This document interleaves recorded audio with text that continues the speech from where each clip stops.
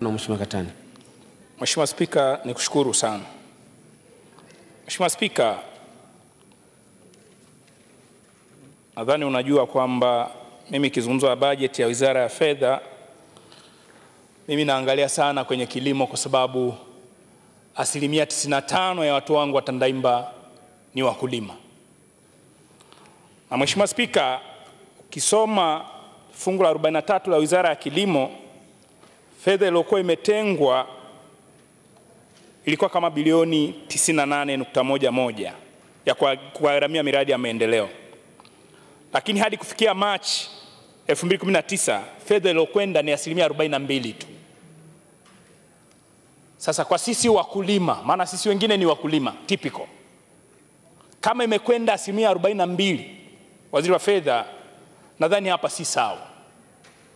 Pana namna ambayo unapaswa uangalie, uone sekta hii ya kilimo ambayo kwa taifa la Tanzania asilimia 85 ni wakulima, fedha inayotengwa maendeleo inakwenda angalau asilimia sabini, ili kilimo hicho tunachokisema tukione kimekuwa. Lakini mmezungumza swala la ukuaji wa asilimia tano kwenye sekta ya kilimo ambayo mimi napata mashaka kidogo kwa sisi wakulima wa korosho ambao tulizalisha tani zaidi ya laki tatu 2017 18 na msimu uliopita tumezalisha tani laki mbili na kitu, tukaona kwamba kuna ukuaji unaongezeka kidogo. Nyewe wataalamu wa hesabu mnaweza mkatupa tathmini hiyo, mnaitoa mna, mna kwa vigezo gani? Lakini vinazungumzwa hapa kwenye swala la kilimo, tulikuwa na mfumo ule wa, wa, wa, wa fedha ile export levy ambayo iliondolewa na mzee wangu pale Kamala alikuwa ameomba kwamba serikali sasa ione namna bora ya kuleta pembejeo za ruzuku kwa ajili ya kusaidia wakulima. Hili nadhani Mheshimiwa Waziri uangalie kwa namna ya pekee sana. Mheshimiwa Spika, litakuwa jambo muhimu na busara sana kwa wakulima, swala la ruzuku. Kwetu sisi kwenye korosho, mfano msimu huu tusipopata ruzuku kutoka tani laki mbili hizo zinazozungumzwa, kuna uwezekano mkubwa msimu huu tunaokwenda tunakwenda kuzalisha tani elfu themanini.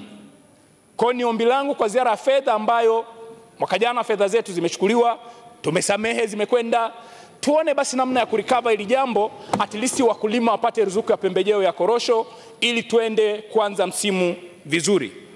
Lakini uzungumza swala la miradi ya mikakati, Mheshimiwa Waziri na Mheshimiwa Naibu Waziri, kuna siku nilikuandikia memo pale nikiwa nakwambia Tandaimba ambao ndio wazalishaji wakubwa wa korosho, mradi wa mkakati ambao walishaleta na, na, na mradi ule wa, wa go down mmeshindwa kupeleka Tandaimba ambako wanazalisha tani zaidi ya elfu sabini unakwenda kujenga gala sehemu inayozalisha tani elfu kumi Hizo fedha mnazopeleka kwenye tani elfu kumi ritani yake itakuwa kwa muda gani? Kwa sababu hizo fedha mngepeleka Tandaimba wanakozalisha tani elfu sabini maanake baada ya miaka miwili mitatu kulikuwa na posibiliti kubwa ya fedha zenu kurudi, lakini unapopeleka fedha, mmepeleka fedha Mkuranga ambako wanazalisha tani elfu nne ukaacha kupeleka fedha Tandaimba wanakozalisha tani elfu sabini na nne. Nyiwe wenyewe wataalamu wa uchumi, sijajua sijajua kitaalamu mnafanya utaalamu wa namna gani? Mnataka fedha zirudi ziweze kuwasaidia Watanzania wengine, au mnapeleka sehemu ambako fedha zitakaa miaka 15 20, tukawa tunaendelea kulalamika matatizo ya fedha?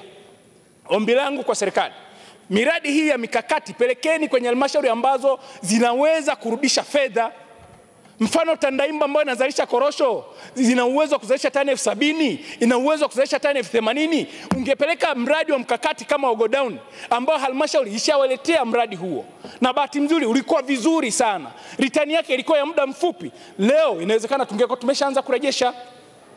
Niwaombe sana mwangalie mambo haya kwa namna ya kibiashara na kuona namna mnavyoweza kuzichukua fedha kupeleka sehemu nyingine. Lakini Mheshimiwa Spika, niwaombe sana watu wa Wizara ya Fedha. Tumeona benki ya, ya kilimo Mwanza, wakati tumeenda kwenye wakati wa kamati ya kilimo, tumeona wenzetu mmewapelekea tawi kule, lakini nimesoma kitabu chako Mheshimiwa Waziri, nimeona Dodoma pana tawi, lakini nimeona mna maandalizi ya kanda ya nyanda za juu kusini kule Mbeya.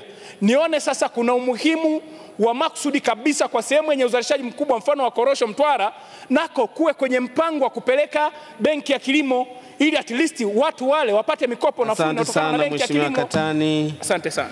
Mheshimiwa Musa Mbaruku, alafu Mheshimiwa Sazungu wako.